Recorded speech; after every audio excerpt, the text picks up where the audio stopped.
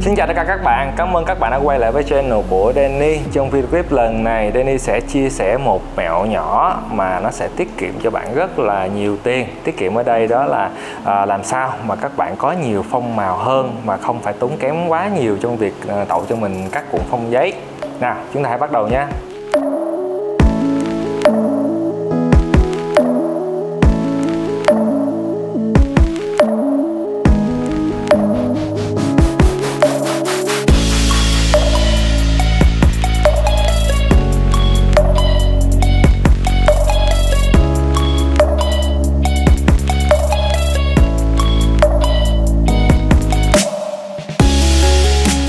cả các nhiếp ảnh cũng như à, uh, Danny cũng như tất cả các nhiếp ảnh đều thường ao ước là mình có thật sở hữu thật là nhiều cái phong giấy màu phải không ạ? À? Vì là mỗi một cái phong giấy sẽ cho bạn cái à, hình ảnh khác nhau thì uh, hôm nay mình chụp màu đỏ ngày mai mình chụp màu xanh nhưng uh, không phải ai cũng có điều kiện sở hữu cho mình uh, thật là nhiều cuộn phong giấy và ngày hôm nay Danny sẽ chia sẻ một mẹo nhỏ bạn có thể có rất là nhiều phong màu khác nhau mà không quá tốn kém trong việc phải uh, mua những cái cuộn phong giấy đó mua phải trừ tốn tiền mà còn phải tốn chỗ mà để ờ, lưu trữ nó. Điều bạn chỉ cần ngày hôm nay chỉ là một cái tường trắng thôi và còn lại là hai cây đèn. Nào chúng ta hãy bắt đầu nha.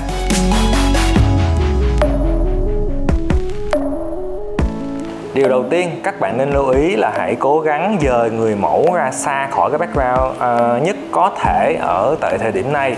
Uh, Ví dụ tại studio ngày hôm nay Danny đã dời người mẫu xa khoảng 2 mét rồi, sau khi dời mẫu, điều quan trọng nữa là chúng ta hãy setup ánh sáng đầu tiên Ngày hôm nay. À, chúng ta sẽ cho một cái ánh sáng mềm dịu làm ánh sáng chính cho người mẫu Cho nên Danny sử dụng một cái dù tiếp à, Silver 1m60 và cái tảng diffusion trên nó.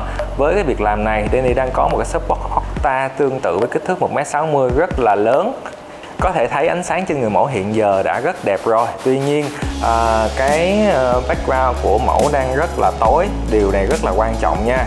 Và Danny sẽ sử dụng cái đèn thứ hai đánh vào cái background. Nếu tại thời điểm này chúng ta chỉ đánh một cái đèn vào background thì background sẽ trở thành màu trắng. Và các bạn cũng thể thấy được là cái áo người mẫu tại thời điểm này là màu trắng và phông trắng và áo trắng họ kết hợp với nhau thì sẽ không cho ra những tấm hình đẹp, phải không ạ? À? và Danny sẽ xử lý nó bằng cách là mình thay đổi màu sắc của cái phông và thay đổi màu sắc của cái phông ở đây và chúng ta không cần phải sử dụng những cái cuộn phông giấy mà chỉ là đơn giản làm cái phèo treo màu. Hãy coi chúng Danny đã làm điều đó như thế nào nhé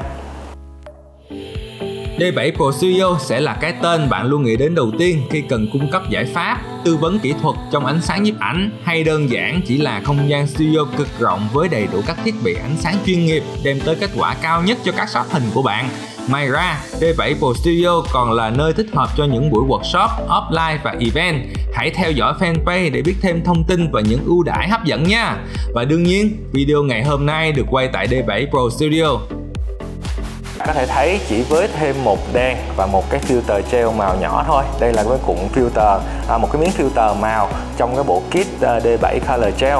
Và đây, người mẫu đã chọn cho mình màu đỏ vì người mẫu thích màu đó. À, Danny chỉ cần bọc cái màu đỏ đó lên cái đèn đánh vào phong lúc này à, từ một cái tường màu trắng cái phong nền đã chuyển qua thành màu đỏ. Như vậy là chúng ta có thể có một cái phong đỏ hoàn toàn mà không phải tốn kém hoặc tốn thời gian bung cái phong giấy ra à, tùy bạn. À, trong cái bộ color gel màu hiện tại nó rất là nhiều màu tùy người mẫu thích cái gì tùy bạn thích cái gì. Ngoại trừ việc đánh lên người mẫu như những cái tút khác thì lần này các bạn đã có thể xử lý nó nhiều loại phong nền cho mình. Và cuối cùng à, để tận dụng những shot hình này có thêm những tấm hình beauty Danny đã à, sử dụng những miếng phản quang poly à, một miếng hứng ở phía dưới lên một miếng ở bên tay trái cho các phần shadow của mẫu sáng hẳn lên hết thích hợp cho những tấm hình beauty hơn. Chúng ta hãy coi những tấm hình đó như thế nào nha.